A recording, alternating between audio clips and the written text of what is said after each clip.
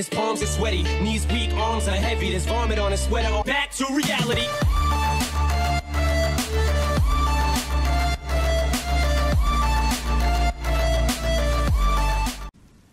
What's up YouTube, it's your boy Dirty Dave. In this video, I'm going to show you guys how to attack the top floor objective here on Hereford Base, which is ammo and tractor storage. So there's three ways to approach this objective from the outside. You can rappel on the north window, which is only one window right there.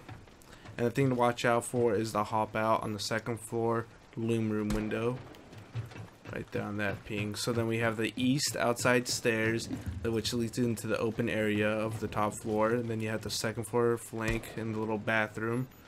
So you have a door right there and a window right there, which we cannot see.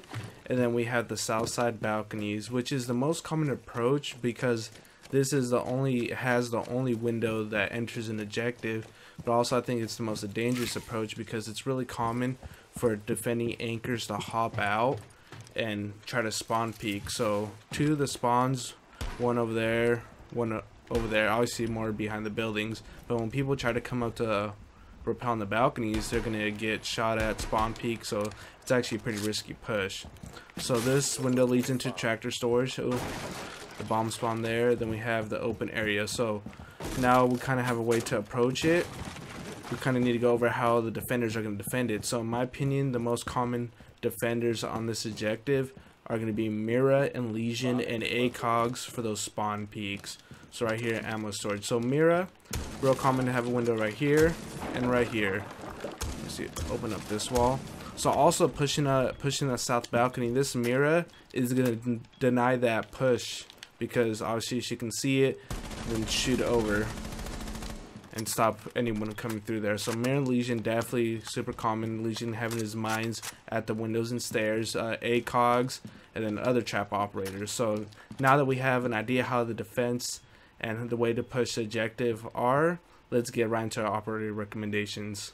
For my operator recommendations, I really like Blackbeard and Ying. Blackbeard is going to be repelling on that north window looking into the open area of the top floor. So pretty powerful position for him.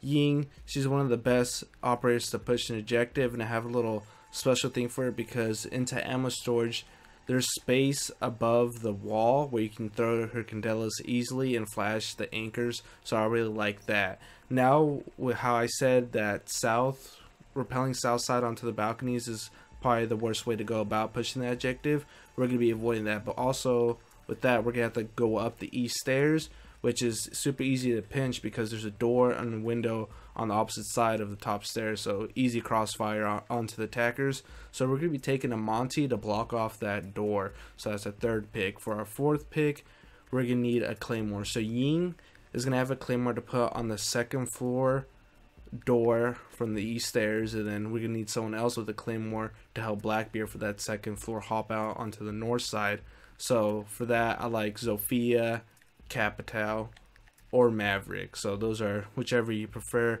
I'll try to go over them real quick. And then for our final pick, um, doesn't really matter. It's optional. You can go the Toxic OP Lion Doki or Twitch. Or Twitch is a great counter for Mira and Legion.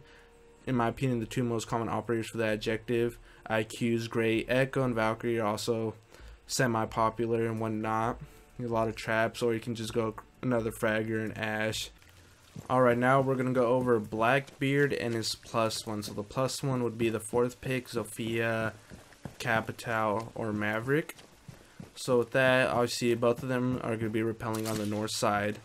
The plus one is going to put the Claymore on this window. So right here facing that way because when they hop out, it's a bit harder to destroy the Claymore and shoot the guy repelling when they're in the opposite direction. So right here is a loom room. They hop out. So if they put the claymore right there, they have to shoot and then turn around and get the guy repelling versus shoot right there, then just look up. So we have that. And then Blackbeard is going to be chilling on this window. Right here. So you can see into the open area of the top floor. And also, mentioned before, it's really common for Mira or for Mira to have a window right there and then peek through this door. So Blackbeard can hold down this door and it's really hard for Mira to challenge him because she cannot see Blackbeard through her window because the little brick walls in the way, but also you can just have a good angle. So she'll be challenging him blind. So Blackbeard can lock that down. Also, if you repel upside down, I never tried this myself, but I did do testing when I was like rehearsing for this video. You can shoot pretty good. You can get a little bit better right there. So with that, I believe you can get a headshot onto someone who is on top of the stairs. So we see our bullet lands right there. So we can, that's pretty much below head height. There's no buckle right here, I believe is head height.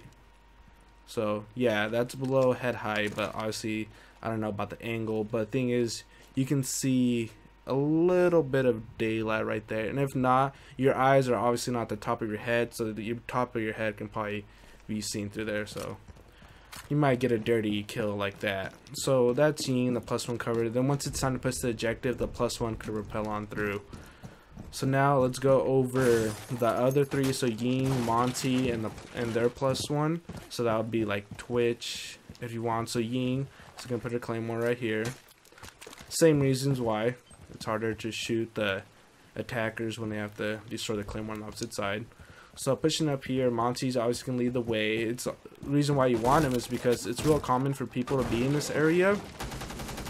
Especially if they're trying to hop out of the balcony, they're going to be chilling right here waiting to hop out. So while they're doing that, they're going to also be watching the stairs. So then you just have Monty block off this door, pretty easy. So then all you have to focus on is this window. And look at that. Blackbeard can catch anyone waiting on this window. Only spot you, you cannot stop them is right here. And with that, you got a Candela. So Candela will stop anyone. Right there. Push, easy kill. Now we're on to the objective. So this part uh, Monty and the plus one could push through that way if they want. Blackbeard's could always be staying on the window. So Blackbeard and his plus one with Ying, they're going to push through here. So Ying, this is why I want Ying. Just throw Candelas over the wall. Doesn't matter. You're flashing. You're flashing anyone who's in here or they're looking away. Easy kills. You can plant the bomb. Plant the bomb like right there. It's pretty safe. Plus one. Plus one watches the door. Blackbeard watches the back. And to be honest, they can see for you through the floor, but I never seen a Pulse been played on this objective. People still don't know the layout. And also, we have a common to have a mirror right here on this wall, so if they're coming back from the other objective, you can use that mirror against them, and bam, easy kills. Also, they're gonna have this wall open up, so use that mirror against them. Pretty dirty, and yeah, that's it for the attacking strap push. Now I'm going to show you guys some vertical play and a dirty, dirty drone spot. So definitely watch that. Alright, onto the vertical play. For the most part on the top floor, the only place where you can do vertical play is in the northwest side of the map. So you can see this half is concrete, this half is destructible wood. So the only thing destructible on the floor here in tractor storage is this hatch, which is also a pretty powerful anchor position because they have these two bulletproof semi walls to cover them. So then here we have the destructible floor and ammo storage. So like I said, real common for mirror to be on this wall and to be on this wall. So I'll show you guys where they are exactly down below. This actually takes a grenade. That floor is like indestructible. So we have that. This is in loom room. Then I guess we'll go across. There we go. So we have that. And then some common anchor spots right here. So if they have an echo and he's just sitting on his uh, drone or maestro sitting on the drone, they'll be hiding right here. So there we go. Let's go down below and see how that looks. So if you're going to do this, it's best to come up blue stairs from garage. So it's actually over here in the bunks.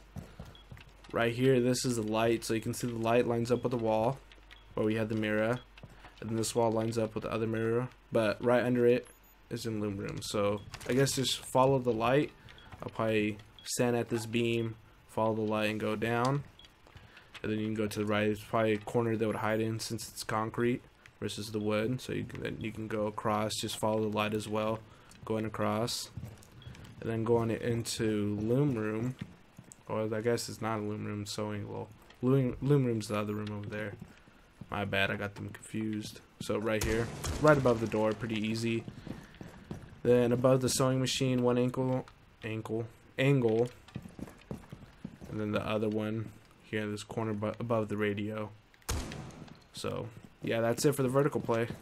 Alright, for this drone spot, all you need to do is get a drone on the roof. And this is super nice because the defending team, they can't stop you from getting a drone on the roof. So this little drone hole right here, I don't know what you'd call this, but it's on the southwest of the rooftop. So we're going to send our drone down here. And right here, we're right above tractor storage, but there's really nothing we can get an angle onto tractor storage. It's really covered. So we're going to get behind the sandbags, and we're going to cross these beams. So I kind of like to push into the middle beam, so I make sure I don't fall off.